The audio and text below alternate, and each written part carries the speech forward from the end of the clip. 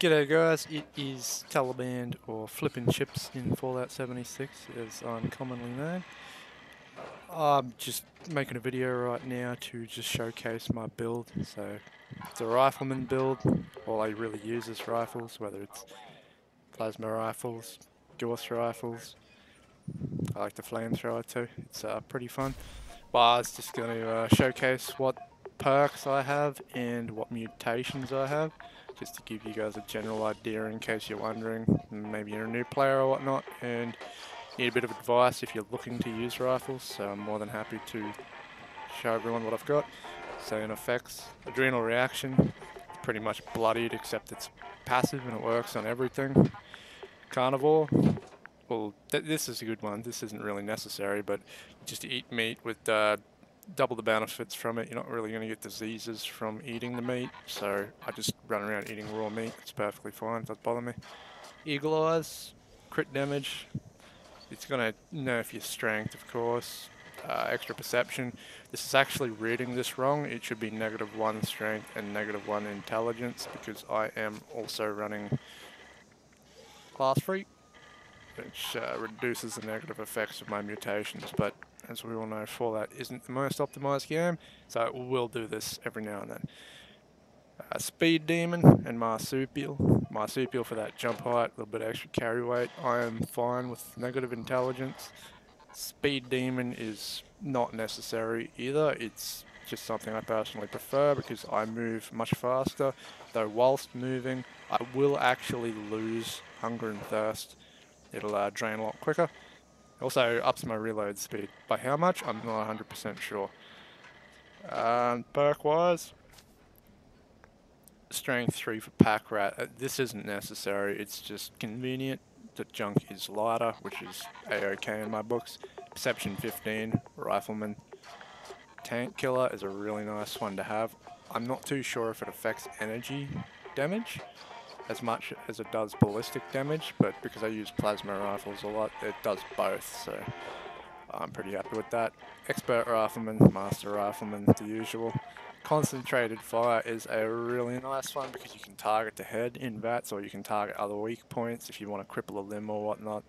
It is up to you what you aim for, but really nice because each time you fire it's going to get more and more accurate and you're going to do more and more damage. Endurance, I've got three endurance. This, this isn't necessary. Radicool, I really like just because, well, I, I do run a lot of bloody equipment.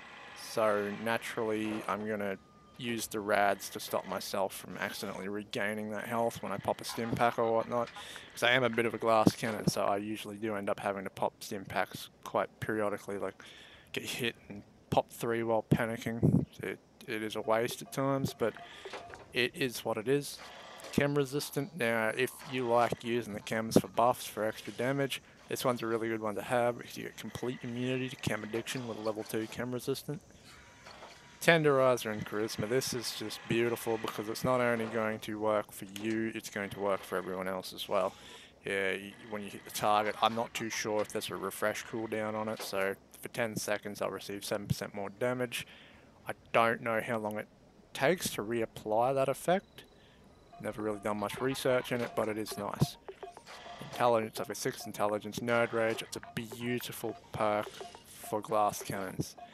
It's while below 20% health, gain 40 damage resist, 20% damage, and 15% AP regen, so three little boosts there.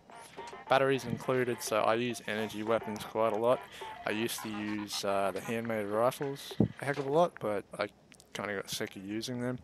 So batteries included, reduces the weight of my energy weapon ammo and any plasma rifle user knows that plasma cartridges are one of the heaviest standard ammos you could bloody hold. It, it, it's horrific how heavy they are. So that's what I've got in intelligence, agility, covert op for 2.5 times sneak attack damage, escape artist. This this goes in with a this build is kind of like a bloodied sneak and crit build hybrid. It's pretty much the best of all three worlds put together and it is disgusting. Um, so naturally chuck yourself in sneak and there's a good chance that you will be hidden again or it will go to caution which allows you to do more sneak attacks if the enemy does actually know you're there. Gun Fu, that swaps targets on kill with a 10 to 20, then to 30% damage to your next three targets. Adrenaline, I'm fairly certain majority of people know what adrenaline is, but if not, just read that real quick. It is a beautiful perk for ad control. Not so much for single target fighting if you're just fighting a boss. So it's Scorchbeast Queen, it's not going to proc that often unless you're specifically looking for the one or two ads that appear every now and then.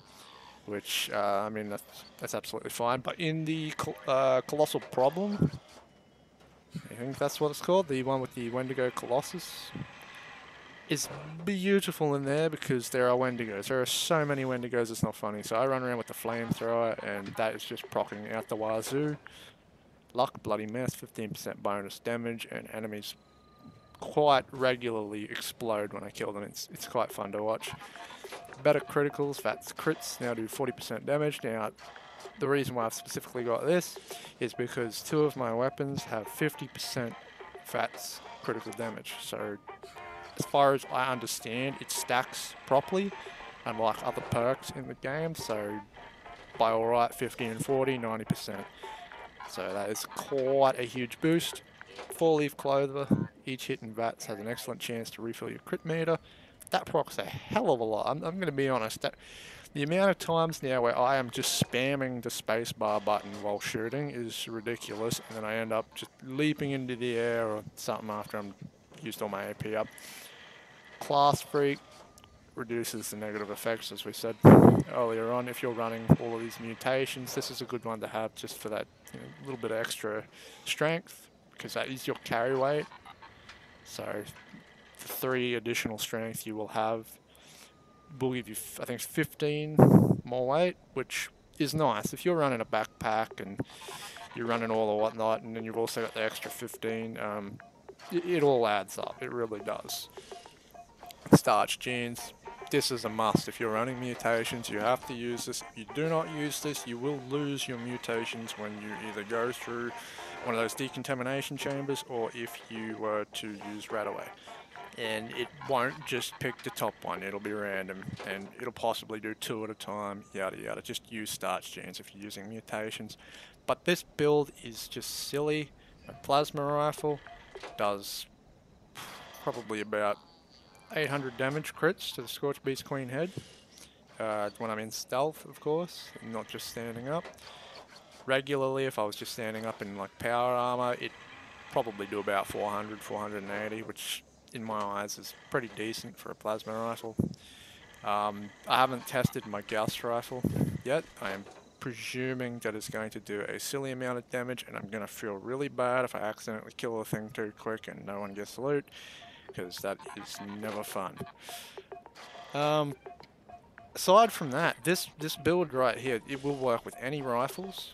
You could change out batteries included. If you were using ballistic rifles like a handmade, you could take that 3 intelligence away if you wanted, or you could maybe put a level 3 uh, level 3 gunsmith in, that way your guns break a bit slower, but personally if, if I was someone who was just wanting to use like a handmade or a combat rifle or even a shotgun, I would take that out and maybe invest it into something else. What that something else is is entirely up to your weapon preference realistically. Um, again, let me just go back. Those are the mutations that I run. Those are the perks that I run. So to anyone looking for advice on an overall rifleman build that will work with any kind of rifle or shotgun, this is what I would advise to use. I've looked at plenty of people's builds and there's a lot more things in it that are redundant for the purpose. So you could argue that maybe my endurance is a bit low. I'm going to die quickly.